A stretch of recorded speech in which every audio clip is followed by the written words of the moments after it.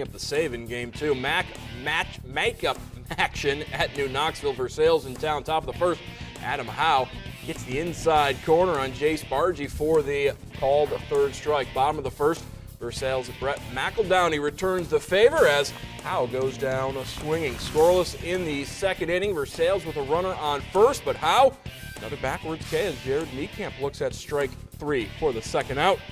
Nick Mormon comes up. Liner falls into right field for the two-out single, but that is all Versailles could do in the second. Home half now. Hunter McMurray, little blooper into left field. Wind holds it up. Kyle Richling makes the running catch as Versailles picks up the MAC win over New Knoxville, 7-1 the final.